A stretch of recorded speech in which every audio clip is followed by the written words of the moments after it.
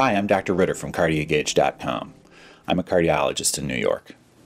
This video is about atorvastatin, who should be on it and why. If you've got questions about the side effects or general information about the medicine, check out atorvastatin 1. That's my first video about the medicine. There are two main groups of people who are on atorvastatin. The first, people who've had a stroke, heart attack, or stent, or other blood vessel problem. The second group of people have not yet had any of these things happen to them, and hopefully they won't. Let's take a look at the first group. In one study, people who'd already had a stroke or heart attack were given atorvastatin or given a sugar pill, a placebo, to see what atorvastatin did, to see if it helped. Over a period of about three years, the people who got the atorvastatin had a 12% chance of having another stroke or heart attack or a stent. The people who got the placebo had a 25% chance of having another stroke or heart attack. So it actually made a pretty big difference. It decreased the chance of stroke or heart attack and stenting by 50%, from 25% chance down to a 12% chance. It's pretty good. It turns out that over 10 years, if a person has already had a blood vessel problem, if they don't take atorvastatin or a similar medication, they've got about a 50% chance of having another problem. That's really high.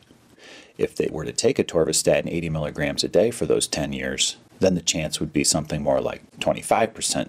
It's still not great, but it's a lot less than 50%. Let's take another look at it from the doctor's point of view. I have about 800 patients in my practice who've had heart attack, stroke, or stent. I think that's about average probably for a cardiologist. If I were to not give those patients atorvastatin, then 400 of them would have another stroke or heart attack or stent over the next 10 years. That's a lot. If I were to give all of those patients atorvastatin 80 milligrams per day or something similar, about 200 of them would have another blood vessel problem over the next 10 years. So 200 is a lot and not good, but it's only half as bad as it would be without the medication. So you can see, from my point of view, if I give the medicine to everybody who's had this type of problem, then over the next 10 years, I'm going to prevent 200 strokes, heart attacks, stenting procedures, hospitalizations for chest pain, all that stuff. And that's a big difference. So that's why the doctors are so pushy with the medicine. Decrease the chance of stroke or heart attack by a lot. In fact, the benefit is so great that for people who've had strokes and heart attacks, if the doctor doesn't offer them atorvastatin or a similar medication, and then the person has another stroke or heart attack, the doctor could be sued. I'm not saying anybody should do that, but just making a point. And what about all those nasty statin side effects? You can check out my atorvastatin 1 video where I talk about those if you want to. But are they really that nasty compared to strokes and heart attacks? There's a 1 in 5 chance of muscle aches, so very common and probably the main reason why statins get so much bad press because indeed a lot of people take the medication and it causes them to hurt.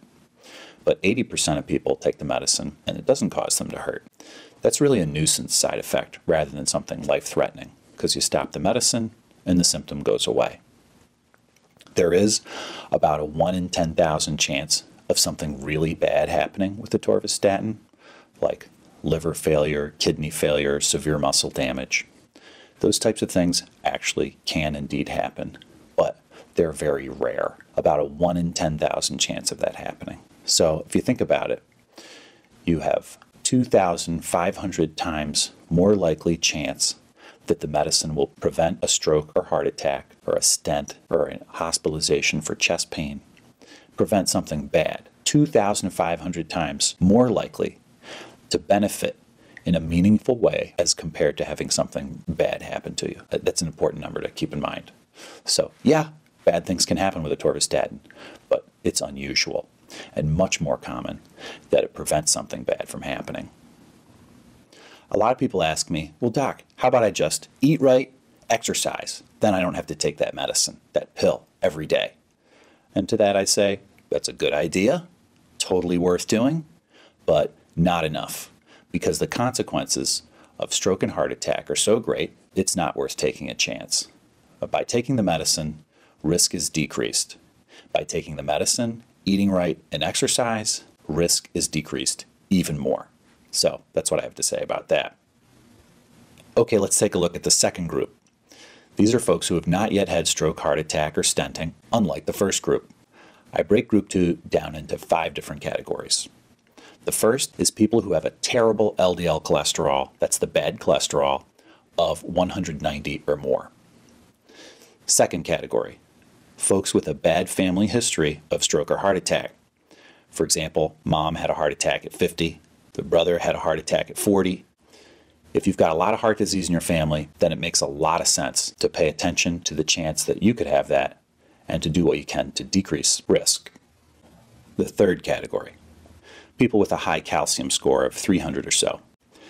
Calcium score is different from a calcium level in a blood test, totally different test. The calcium score is ordered by the doctor. It's kind of a fancy test. Costs usually a couple hundred bucks to do it. The patient has to pay. Usually insurance doesn't pay. And it's done when doctors and patients want to understand more about risk for heart disease. Category 4 people who have had a high CRP blood test, more than 2.0. And this is a test ordered by the doctor to help understand what's a person's risk for having stroke or heart attack in the future. The fifth category is probably the hardest one to understand, and that's folks who have a risk of 7.5% or more for stroke, heart attack, or stent over 10 years.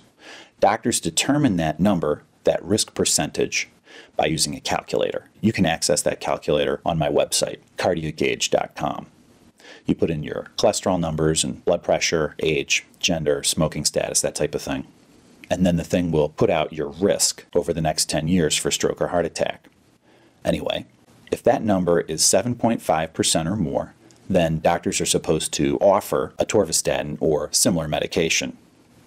Let's look at each category in a little more detail. Okay, category one LDL cholesterol of more than 190. The lifetime chance of getting a heart attack or stroke for someone who has really bad cholesterol like this is about 50% or more. So that's a very high chance of stroke and heart attack.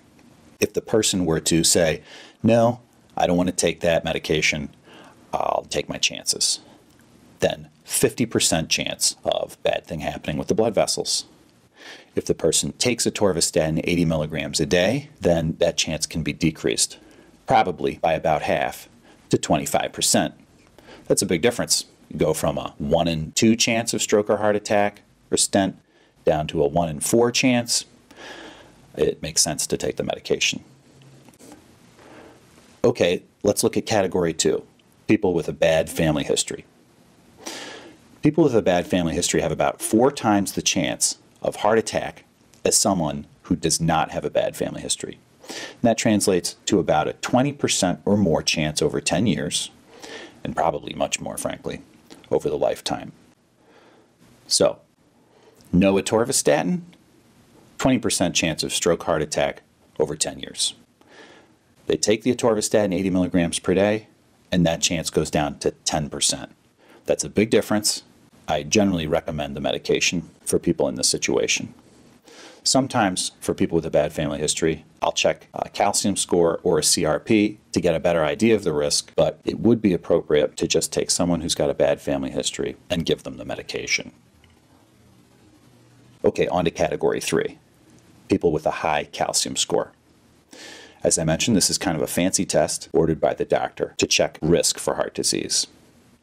If the calcium score is greater than 400, it turns out that over four years, if a person does not take any medication to address the calcium score, then there's a 15% chance of something bad happening. If the person takes a statin medication, that chance was decreased down to 9%. So that's a pretty big difference.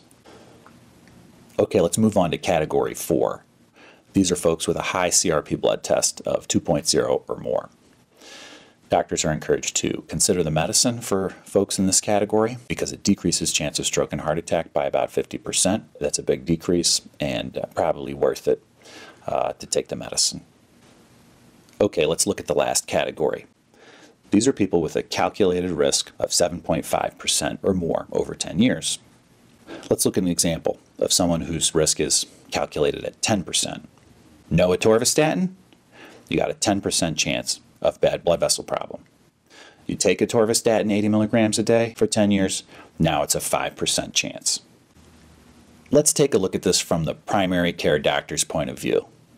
The doc might have a thousand patients who have risk for stroke or heart attack of 10% or more. If the doc does not give the medication, 100 people will have stroke or heart attack over 10 years. But if the doc gives the medicine to all those people, 5% or 50 of them will have stroke, heart attack, or stent. That's a difference of 50 people. Of course, doc wants to do that, so he or she will offer the medicine to try to accomplish that goal.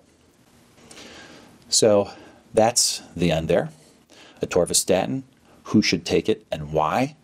I hope the video was informative. Please like and subscribe for more content and share.